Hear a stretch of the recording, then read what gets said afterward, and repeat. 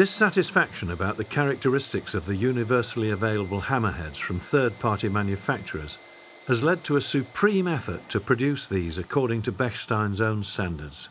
As the only piano builder in the Western world, C. Bechstein now produce their own hammerheads with a resilient yet dynamic felt covering around a stable core. This is achieved with a new and elaborate process that manages to live up to their own demands for unimpeachable excellence.